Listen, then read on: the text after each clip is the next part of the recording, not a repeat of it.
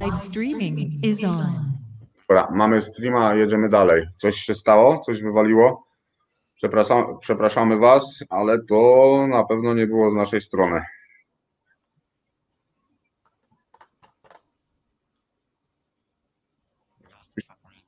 Także komuś się chyba temat nie podoba jednak. E, poczekajcie, ja odbiorę od Bartka. E, Andrzej, jedziesz dalej z tematem, a ja tylko z Bartkiem pogadam, ok? Bo nie wiem, co się wydarzyło. Dobra, na czym tam skończyliśmy? Dzieciak w fabrykach i wszystkim po kolei. Dzieciach w fabrykach. Poczekaj, a ja ten. Dobra, ty gadaj, a ja dzwonię do Bartka, wiesz, co, co się tu wydarzyło. Dobra. Czyli tak, mamy fabryki, w których pracowały dzieci. Mhm. Mamy.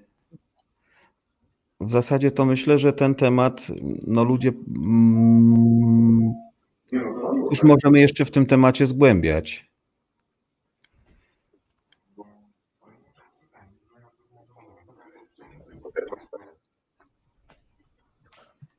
Dobra, przepraszamy. Możemy śmigać dalej, ponad działa, jest wszystko ok. Także naginamy Andrzej. Dobra, czyli ten temat dzieci, no myślę, że już jak gdyby wyczerpaliśmy, yy, jeśli chodzi o, o to, co było i o to, co czeka nasze yy, przyszłe pokolenie, jeśli nic z tym nie zrobimy. I teraz pytanie jest, wiesz, Andrzej, co z tym można zrobić w ogóle, to nie? Obudzić przede wszystkim się z tego, z tego, co nam system proponuje, czyli szczepić się, zacząć przeciwstawiać się. Jeśli chodzi o dzisiejsze przebudzenie, mamy bardzo dużo praw, które są nam odbierane. Dwa, dobrowolnie większość ludzi godzi się na to, żeby yy, podporządkować się dzisiejszemu rządowi, który tak naprawdę nie ma mocowania prawnego, yy, jeśli chodzi o, o rządzenie naszym krajem. Są to polskojęzyczni ludzie, bo na dobrą sprawę Polak Polakowi czegoś takiego by nie zrobił to, co robi nam rząd, tak? Niszczy przy... nawet człowiek człowiekowi by raczej tego nie zrobił, bo mi się to na, stary no naprawdę w głowie nie mieści, no nie? No, ta nacja akurat nas wybitnie nie lubi. Nie wiem, dlaczego jest tak okrutna dla nas, choć historia to zdradza. No jednak są bardzo okrutni, co zresztą widać po ministrze z naszego zdrowia, który będzie nas bezwzględnie szczepił i, i twierdzi, że patriotycznym obowiązkiem naszym jest zaszczepienie się. Jest no, coś niesamowitego, jeśli o, o mnie chodzi, powiem Ci szczerze, no to jest po prostu szok. E, Mamy, mamy prawo, mamy prawo, żeby się nie szczepić, tylko znaczna część ludzi z tego nie skorzysta. Y, Wręcz uwierzyła w tą samą y, pandemię, która równo 100 lat temu była, tak? Ta Hiszpanka. no Znikły tam nam była Duma. Hiszpanka, co, co tam jeszcze było ciekawego? W 1831 odnotowana pierwsza y, pandemia to była pandemia cholery, której tak samo jak i Hiszpanki, no Hiszpanka to akurat było morderstwo z premedytacją, które nam serwują w tej chwili, to cholera jednak y, była taką fikcyjną pandemią. Tak samo medialną jak koronawirus. To e, teraz sprawdzam, wywalili nas z YouTube'a chyba. Tak, wywalili nas z YouTube'a, nie wiem o co chodzi. E, no, powiem Ci szczerze, chyba, chyba idziemy w dobrym kierunku, bo komuś się to bardzo, bardzo nie podoba to, co robimy. E, dobra, ale przejdź, przejdźmy do, do tej historii jeszcze. E, powiedz mi teraz, Andrzej, czekaj, bo z tele, telefonem jeszcze coś mi się tu dzieje. E, złapmy się jeszcze na chwilę gazu Fosgen. Czy masz właśnie film, który, który pokazuje to? No, jest, e, jest o tym Fosgenie. Mm, mamy ten film. Już trzy miesiące, nie? Już, już go włączę, tylko jest on mówiony. I tak. E,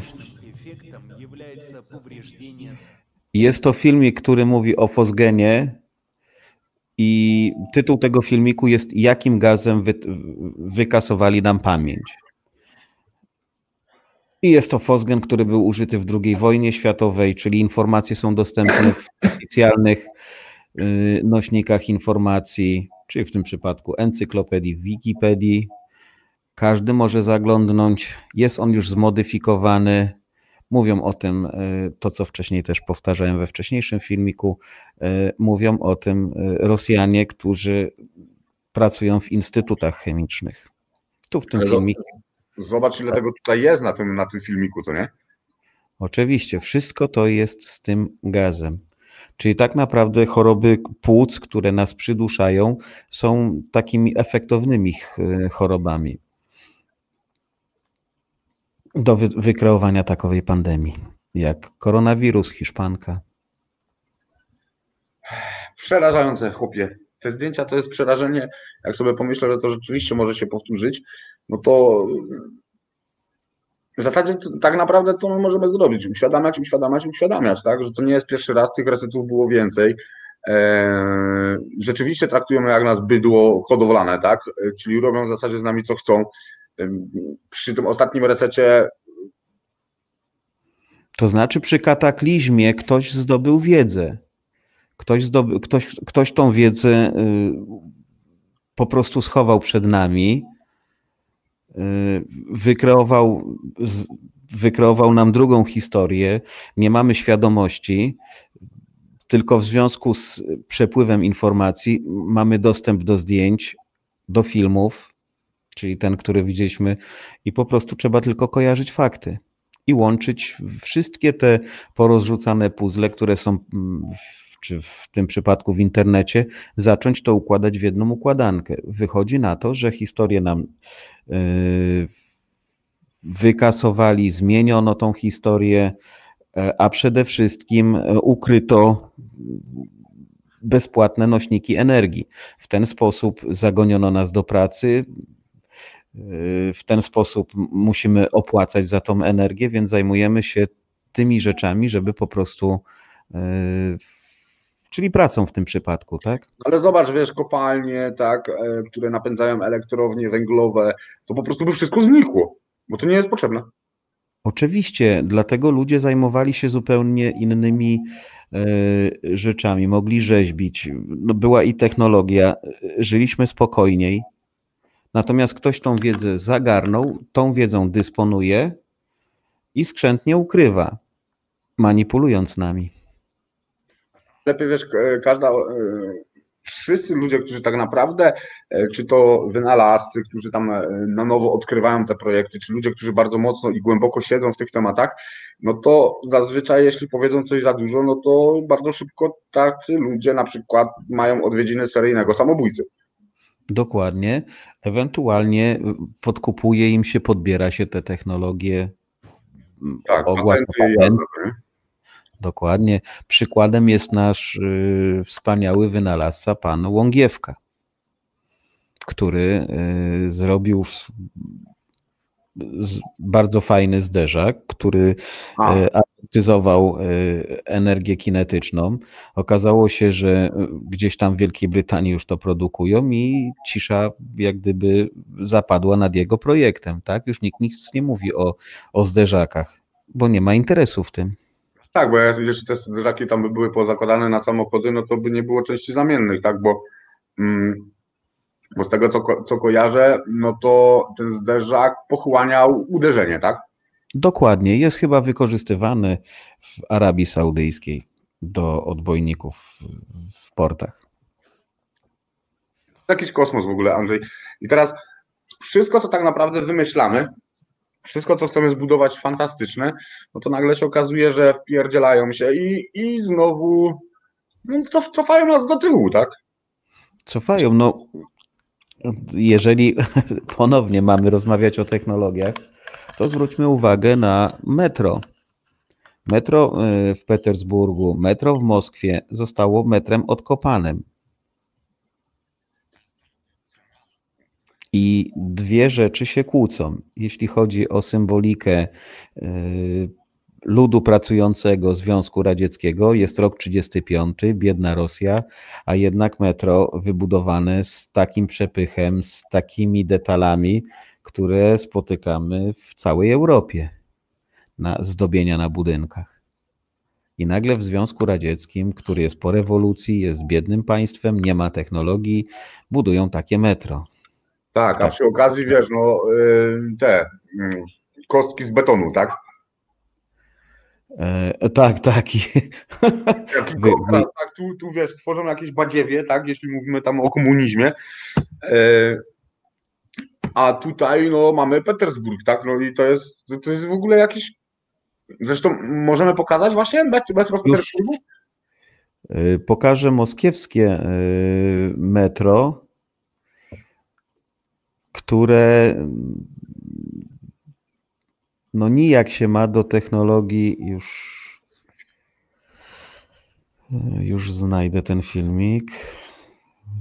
Kurde.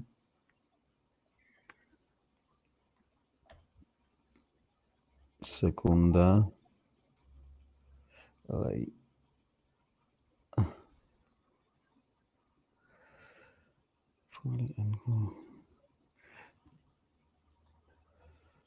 Już. Dobra, za chwilę pokażę ten, to metro, więc y, niestety technologia tego metra jest y, zupełnie nie wpisująca się w technologię y, tą, którą była w, w latach 35., czyli dopiero żeśmy się rozw- rozwijali. Y, I już mamy. No i tu zaraz pokażemy. Pokażemy owo me- metro. Jest bardzo dużo artefaktów, jak widać. I proszę bardzo, mamy w komunistycznym Związku Radzieckim wybudowane metro. No niestety, ale w technologii antycznej. To jest, wiesz, ale powiem ci tak. Przez długi okres czasu ja nie dostrzegałem w ogóle tych różnic, tak? No, metro petersburskie zjeździłem od A do Z. Klimat, który był w tym metrze, no fantastyczny. Te wszystkie budowle. Gdy wyjeżdżałem na powierzchnię ziemi, było to 30 lat temu i wychodziłem na tych bloko- blokowiskach, tak, taki kontrast był straszny, że no szok. Natomiast kiedy zjeżdżałeś do, do, do tych przepięknych y, komnat, proszę, jaki jest wystrój tego, tegoż metra. Czy to, przy tej technologii, która była w- w 1935 roku, obróbka tych kamieni była niemożliwa. No tu będziesz miał rozmowę z Francem Zalewskim, który jednak twierdzi, że e, w dawnych czasach były y, narzędzia do obróbki kamienia, do Mhm. precyzyjnej obróbki kamienia. Być może i drukarki, drukarki 3D.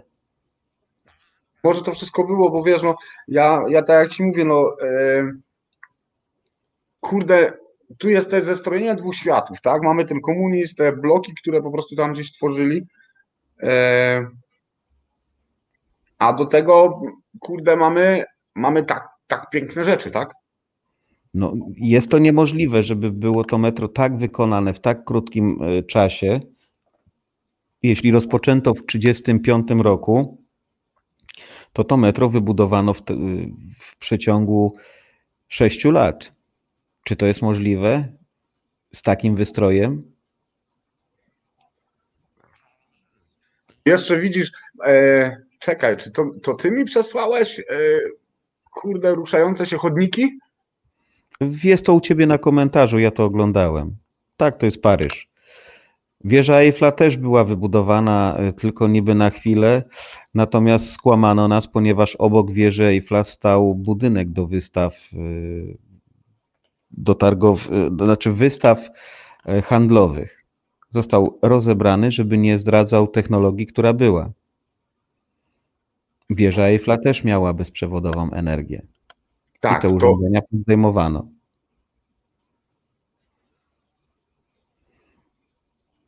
Powiem, że y, jestem pod wrażeniem tamtej cywilizacji. No była wysoko rozwinięta. Zwróć uwagę, w jaki sposób jest tutaj to wszystko symetryczne, idealne wręcz. I oczywiście wstawione posągi y, chłopów, robotników, czyli ludu pracującego. No i tutaj mamy jeszcze do czynienia z rezonatorami energii bezprzewodowej, która tam była.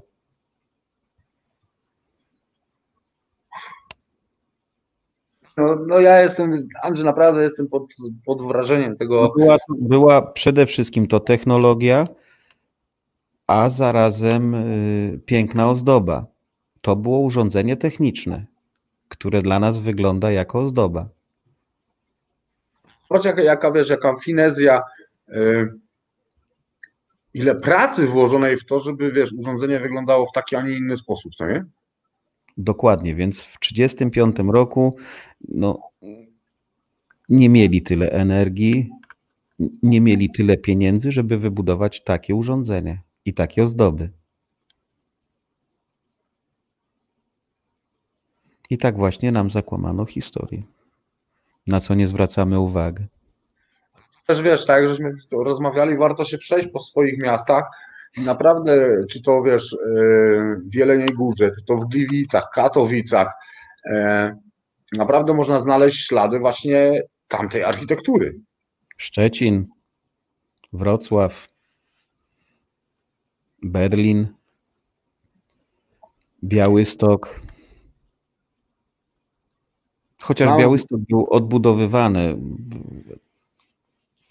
Ostatnio akurat tak przeglądałem te budynki, są odbudowane w koniec XIX, początek XXI wieku.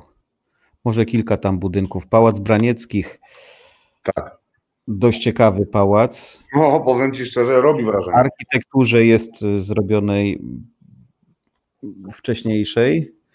Ładnie jest zrobiony, no tam jest piaskowiec, a tutaj jest akurat granit. Także w wielu, w Olsztyn, e, Grudziądz, no jest wiele budowli, które po prostu pozostały jeszcze po tamtej cywilizacji. Zostaliśmy jak gdyby e, wtłoczeni w, tą, e, w te budowle jako społeczeństwo. I tak naprawdę nie wiemy, co zrobić. No dobra, no bo nie wiemy, co zrobić, tak? No tu jest łącznik, który widać zresztą kamień kładzony przez radzieckich e, już inżynierów w roku 31, y, 5.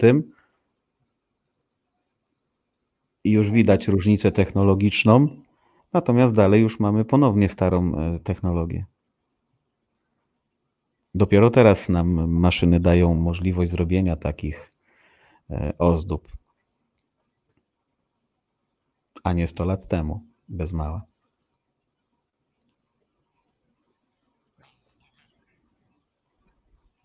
I zobacz, to jest to, co zostało po tej cywilizacji, tak? To, co my widzimy, a ile rzeczy, ile cudownych, wiesz, oni stworzyli, których yy, albo my nie widzimy, bo ich, wiesz, gdzieś je pochowali, albo po prostu zostały zniszczone, tak? Ja podejrzewam, że tam samochody też wyglądały inaczej. Pewnie, pewnie tak, to wszystko poznikało. Latające Tak. dyski, tak? No tam Tesla, wiesz, e, o antygrawitacji, tak? No to, ja myślę, że to była normalna po prostu ich technologia. Była bardzo zaawansowana. Więc ciekawe, kim oni byli. y, wysoko rozwiniętą cywilizacją. Znaleziono zresztą zatopiony w kamieniu chip, tak? Niby 6 milionów lat wstecz. Jeśli była, jeśli Franz Zalewski y, mówił o y, zatopionej glinie w szkle, to i mogło się zatopić podczas jakiejś y, wojny atomowej, tak? W ostatnim filmie żeśmy mówili, że nawet w Wedach piszą o, o, o wojnie atomowej, tak? Dokładnie. A mogła to być y, broń, która plazmą y, operowała, także tego Myślę, nie wiesz- to zostało wykasowane. Nasi rządzący to wiesz, oni doskonale znają tą technologię i ją mają, e, tylko się jakoś nie chcą nią pochwalić. Mm, Mają tą technologię. Mają. Nie pochwalą się, bo e, no jeżeli by, musieli, jeżeli by udostępnili nam bezpłatną energię, to kto by im opłacał podatki, kto by chciał ich utrzymywać? Żyją na naszych plecach, tak? Tak, to jest, to jest racja. Czyli my pracujemy, oni, oni mają wiedzę, nie muszą pracować, tylko kontrolować swoje stado, które sobie wyhodowali.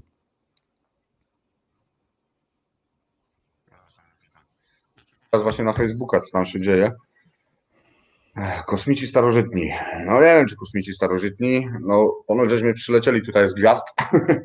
Także, no coś w tym jest. No, ja bardziej bym się skłaniał nawet, wiesz, Andrzej, do tych kosmitów, e, no niż no, do tej gównianej historii, którą nam podali na tacy. No jeżeli, jeżeli ktoś pisze, że kosmici, to niech będą kosmici.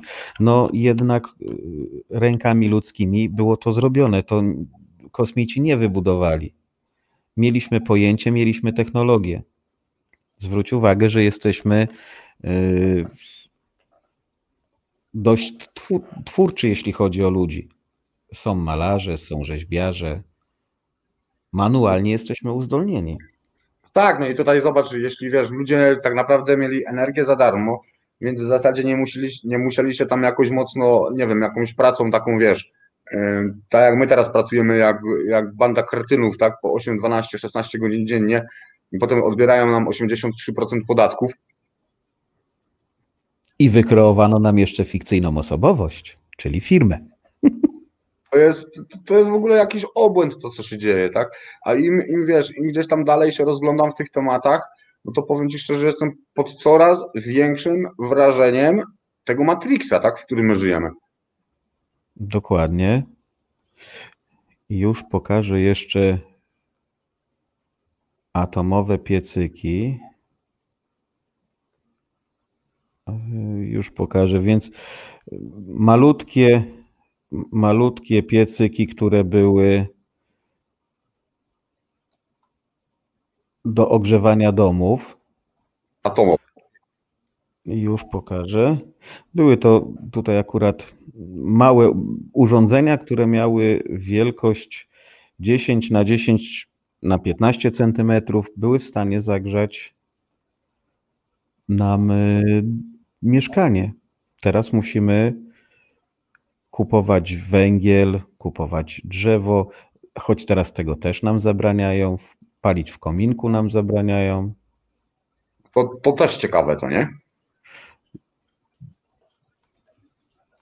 No już, już właśnie już patrzę, gdzie są te piecyki. Więc jest tyle te technologii ukrytej przed nami, że nam po prostu w głowie się to nie mieści.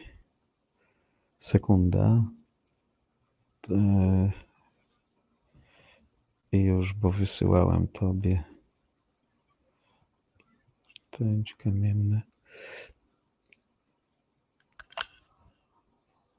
Również muszę sięgnąć, widzę, do historii. Gramy o historii, ciągamy do historii. Dokładnie, no jest, jest bardzo dużo artefaktów, no, jest dużo zdjęć, na które nie zwracamy uwagę. Yy, Dużo budowli, na które nie zwracamy uwagę. Wydaje nam się, że to są jakieś urządzenia ozdobne, a tak naprawdę to była technologia, którą nam ukryto w bestialski sposób. Musimy dzisiaj pracować po to, żeby i mamy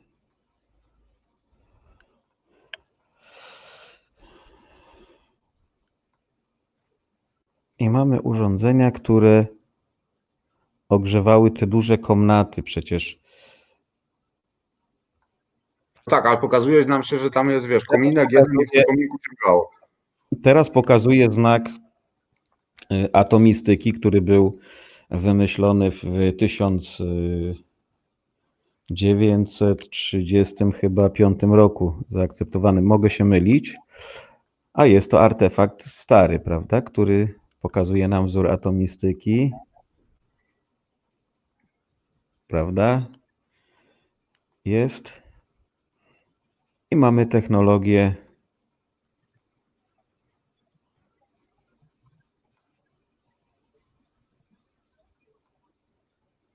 To jest celem wstępu.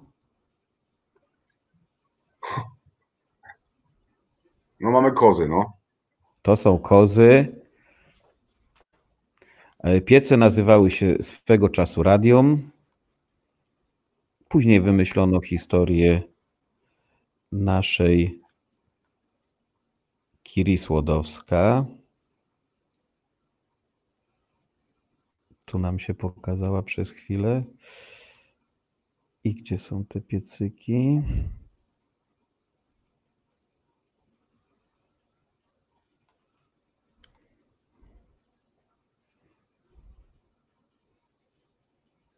Już, już przewinę. Spokojnie. Jest.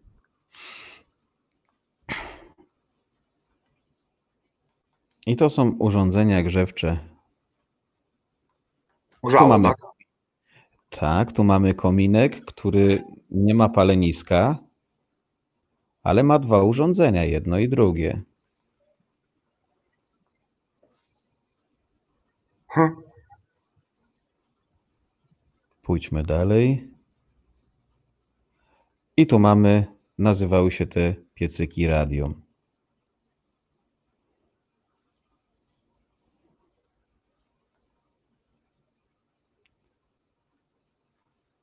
Tu mamy wyjaśnienie jako pierwiastka.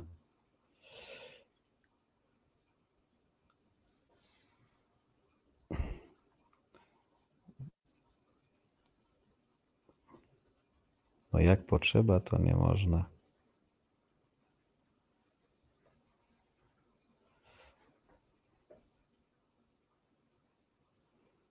Jeszcze raz cofnę.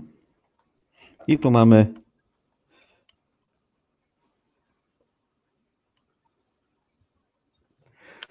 jeszcze w 1901 roku w budynku, który został rozebrany w Paryżu, były te piecyki dostępne.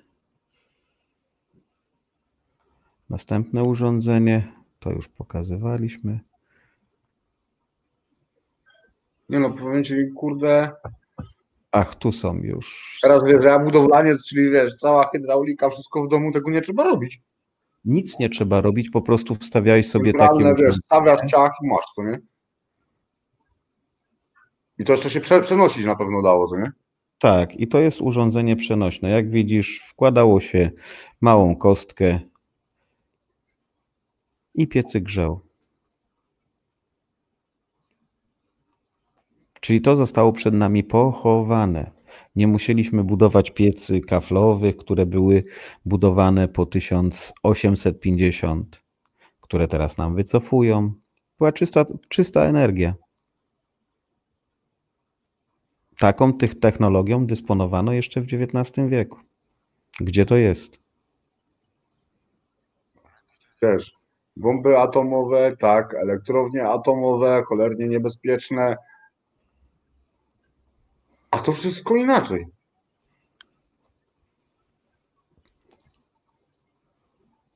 Jaka technologia, jakie budynki, to wszystko poznikało w zawierusze wojennej.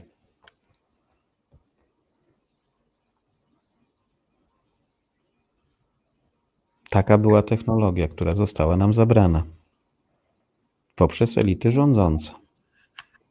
I na to się dobrowolnie zgodziliśmy. Zobacz, jak malutki piecyk. Małe przenośne urządzenie. I na pewno nie było to palenisko. No nie. No bo nie ma kominów, to nie? Nie ma kominów.